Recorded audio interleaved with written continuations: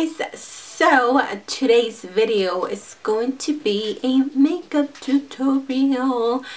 I wore this look on my Battle of the Brands video, I believe, and I asked to see if you guys maybe wanted me to recreate it, and a bunch of you said yes, so I went ahead and recreated the look. As you know, I used my Wet n Wild Comfort Zone palette. Let me grab it, it's right over here.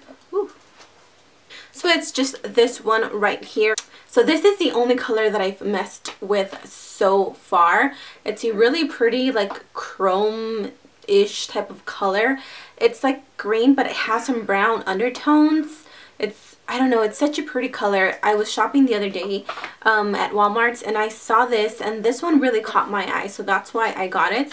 Wet n Wild is so inexpensive. I believe I paid around three or four dollars for this and it's really really pretty um, so yeah I hope you guys enjoyed this video and I hope you do recreate it. If you do, you can uh, tag me on Instagram. Just do hashtag OMG Lashes. Make sure that your profile is not private. Otherwise, I will not be able to see any of your wonderful recreations. So I think that is everything guys. Um, leave me your request on what other videos you guys would like to see and I will see you guys next time. So I am first applying this Putty Lid primer all over my eyes just to ensure primer doesn't move or makeup doesn't move. Then I'm going in with my NYX eyeshadow base in the color Skin Tone. You guys know that I live by this, so I'm just going to take a fluffy synthetic brush and apply that all over my lids. Then I'm going to take this gorgeous eyeshadow by Makeup Geek. This is in the color Creme Brulee. And I will be applying this on the upper corner of my crease and blending that out. Then I will be taking Cocoa Bear by Makeup Geek as well. And I'm also going to be combining this color right here. It's Sienna by the Anastasia Beverly Hills palettes. Um, I think that one was the... I can't remember. I will leave it linked down below. But I'm pretty much just going to be applying that on my lid as well, on my crease. Then I'm going to take Shimma Shimma, also by Makeup Geek, and I will be applying that as my brow, uh, brow bone, oh my gosh, brow bone highlight. There we go.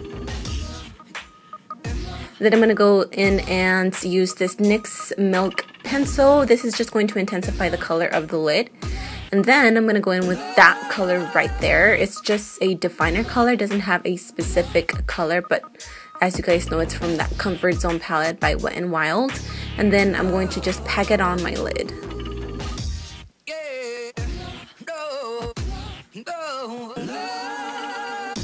Then taking that shadow brush again and just blending out all the lines just so we don't have any harsh lines between our crease and our other colors. So make sure you blend everything out.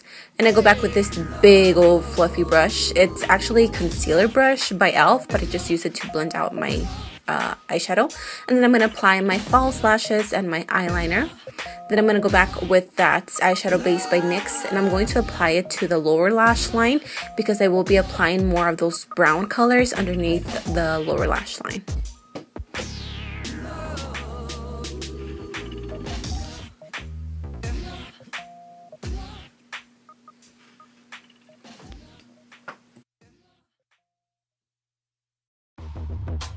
And as always, I will be taking my Baby Skin Instant Pore Eraser by Maybelline and I will just be applying that to the problematic areas, which is where I have the most pores and just kind of spreading it all over my face. Then I'm going to take this Tarte Amazonian Clay Foundation, which I have been testing out and I love it. I am definitely going to get the full size bottle once I run out of this. And as always, just taking a stippling brush and I will just uh, buff that out.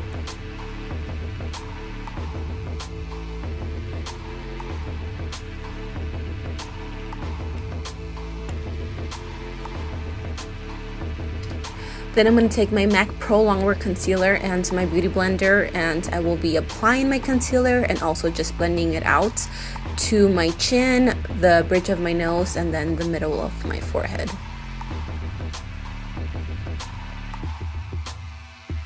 Then I'm going to take this color right there, or maybe this color, or maybe this color, or maybe all three. I don't know. But this will be our setting powder. I got this palette off of eBay. I will leave a link to down below if you guys are interested. It's pretty cool. I really, really like it. It has some other like blush colors and like bronzing colors. Then I'm uh, then I'm gonna take my Fit Me powder. I know it looks a little bit yellow on camera, and I promise that on me, like when I see it on myself, I think it looks pretty good. It doesn't look as like mustardy. I don't know. I really like it though. I've been enjoying it, and this has been my go-to bronzing type of powder.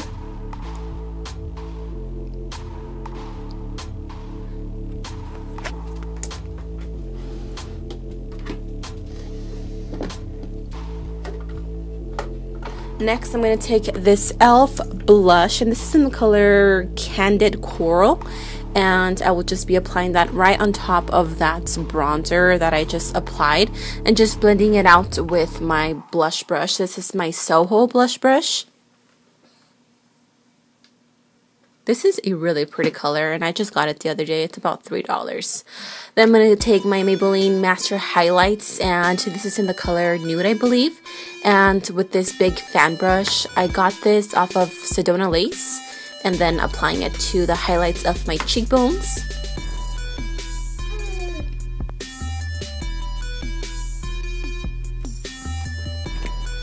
And then we are taking something from back here. Oh yeah, our mascara.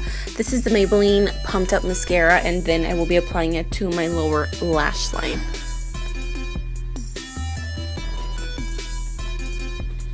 Then we are going to go in with lips. I'm taking Night Moth and then I'm just going to be lining my lips. I know they look a little bit chapped, but YOLO.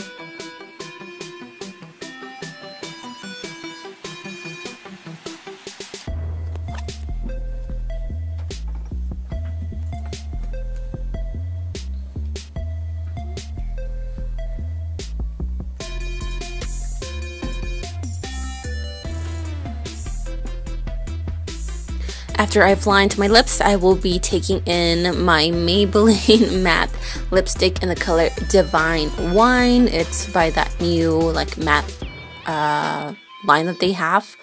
Um, so yeah, after you have done that, you are pretty much done with the look. Super cute, super quick and simple. I hope you guys enjoy it. If you did, give it a thumbs up and I shall see you guys in my next video. Adios!